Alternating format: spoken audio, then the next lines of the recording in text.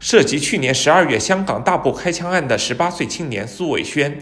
另是二零一八年跨年夜警方检获多支枪械的案件。他于一月九日就藏械案在香港粉岭裁判法院提堂，有关案件将与同案的另一名被告苏汉涛合并处理，并于二月十七日在香港东区裁判法院审理。据了解，二零一八年底，警方有组织罪案及三合会调查科在香港多个地方搜出大批军火。有人更以企图用枪袭击一名无业汉，涉案的三男一女各被控串谋谋杀、意图危害生命而管有枪械等共五罪。一月九日，涉案被告苏伟轩和苏汉涛被押解至粉岭裁判法院，分三案提堂。苏汉涛透过代表律师申请保释外出，但裁判官认为案情严重，而且苏汉涛犯罪意图明显，故拒绝其保释申请。两名被告均需继续被囚禁。